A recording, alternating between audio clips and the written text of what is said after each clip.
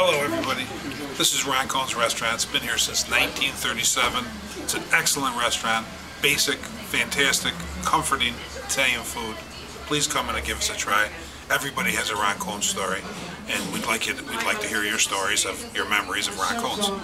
And uh, come in and give us a try. It's wonderful. Thank you. I am Joe Fantuzzo, the new owner of Roncone's Restaurant, 232 Lyell Avenue, Rochester, New York.